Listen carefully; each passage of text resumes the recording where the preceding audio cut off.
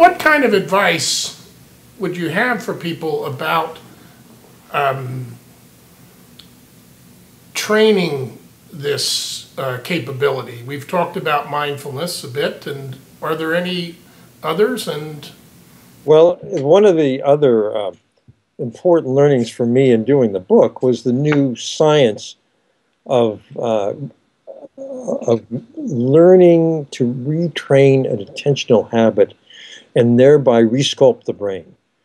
The, the work of uh, people in contemplative neuroscience, where they're brain imaging people while they do a, a basic meditation uh, or a range of meditations, is, is really impressive. One of the pieces of research that stuck with me was by uh, Wendy Hasenkamp, who was at um, I think she was at Emory. Now she's a research director at Mind and Life Institute.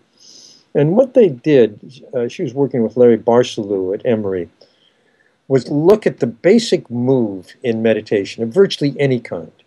Doesn't matter if you're doing a visualization or compassion or mindfulness, the basic movement is this. When your mind wanders off, notice that it's wandered, remove it from where it's gotten attached and put it back on your point of focus. Whether your point of focus is a, a general mindfulness or a mantra, doesn't matter.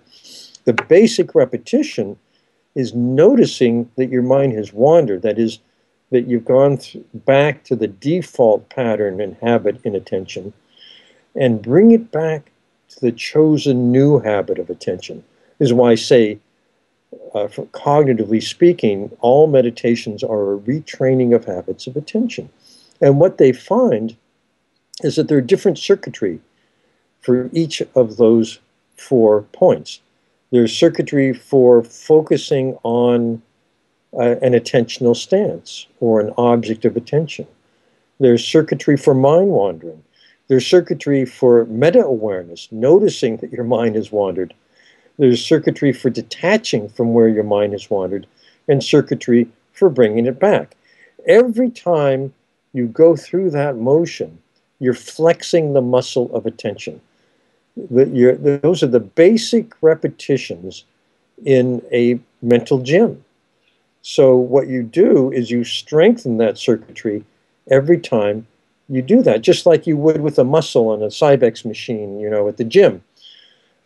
And you're res- and so a meditator or someone doing mindfulness is actually changing the shape and function of that person's brain. It's neuroplasticity.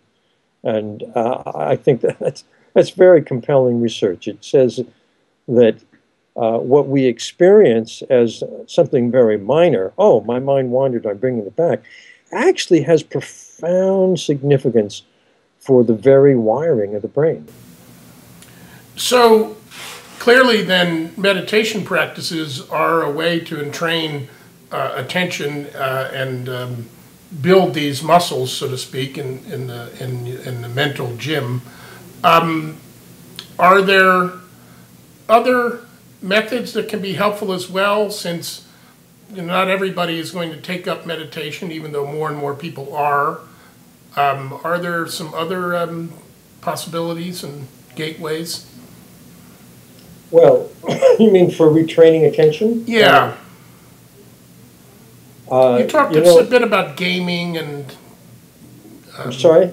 I I, I, I, recall you talked a bit about gaming, and you know there are some yeah. technological. Well, you know, uh, when I wrote Emotional Intelligence, I became a big advocate of teaching these things to kids in schools. It's become social emotional learning, and now it's in tens of thousands of schools.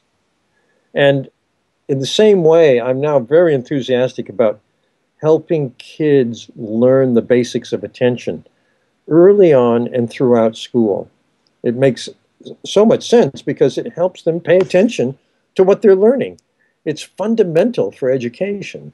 So there are many, many ways to help kids train attention.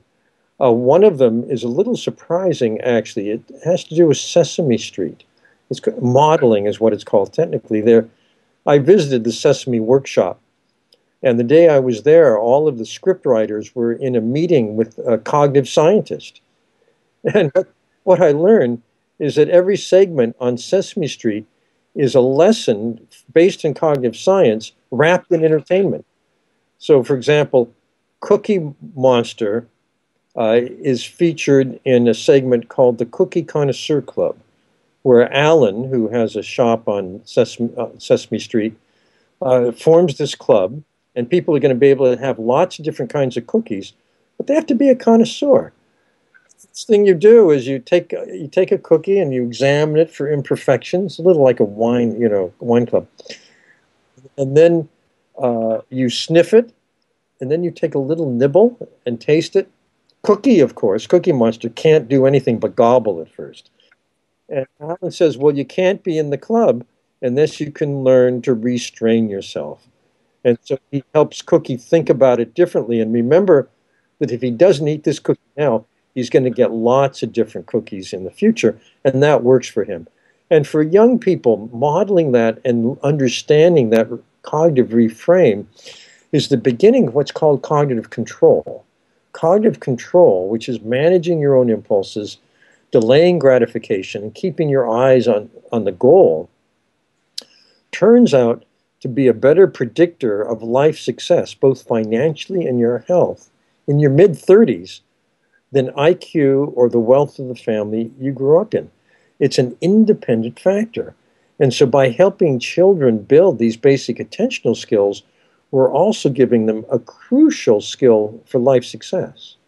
Oh, that's very encouraging that, um, you know, that one can think of many possibilities for uh, training children in attention as this basic skill, uh, some of which would be um, uh, mindfulness practice, but others wouldn't look like mindfulness practice at all, so to speak.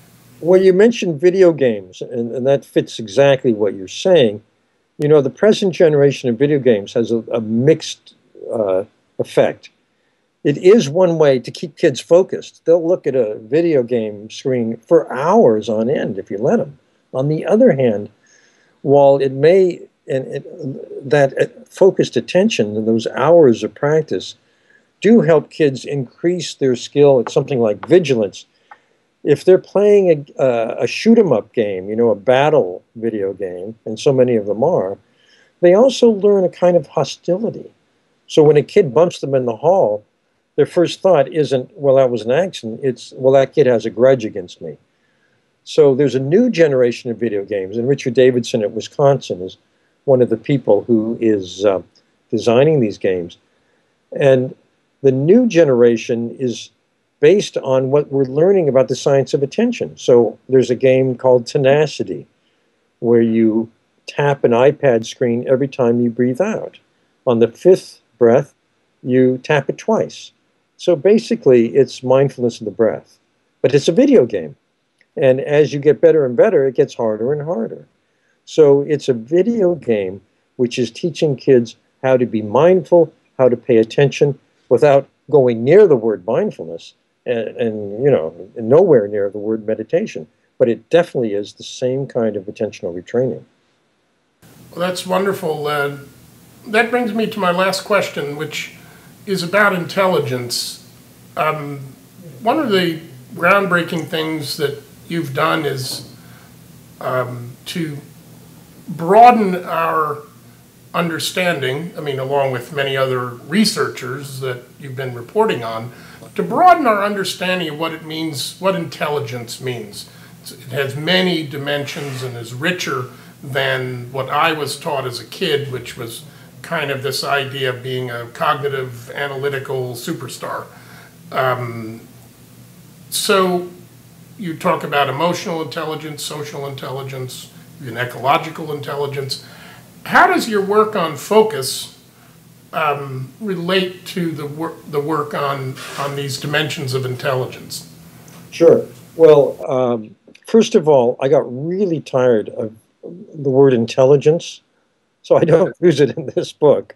But as it turns out, the kind of focus, attention itself, is the foundation of emotional intelligence.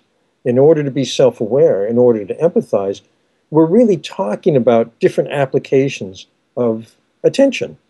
And then systems awareness, which I used as the framework for my uh, book on ecological intelligence uh, is the third. So in this book, I, I'm really tying all that together and also trying to bring the mindfulness world together with the emotional intelligence universe.